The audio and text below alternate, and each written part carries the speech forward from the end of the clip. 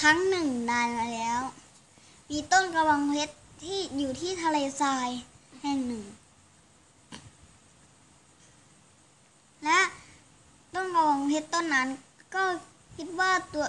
ตัวเองเป็นคนแข็งแรงทนทาน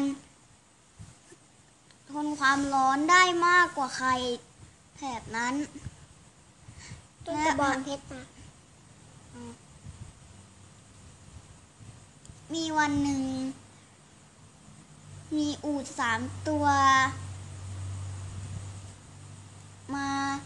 มาเดินผ่านเดินผ่านแถวต้นกระบองเพชรและตอนนั้นช่วงเวลานั้นก็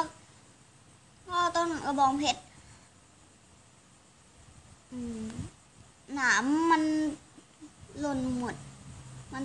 มายถึงหักหมดนะคะทั้งตัวทั้งตัวมันเลย และ อูดสามตัวนั้นก็เห็นมันหิวน้ำมากแล้วมันก็เลยกินต้นกระบองเพชรไปหมดเลย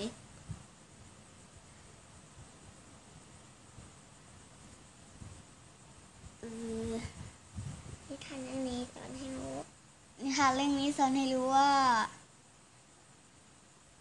เออ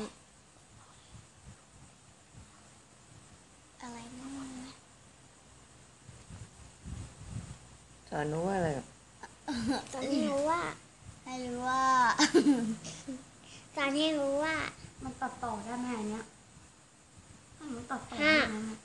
สี่เนี่ยสามกดอันเนี้ยกดอันเนี้ยกดอันเนี้ยแล้วมันจะหยุดชั่วคราวก็ได้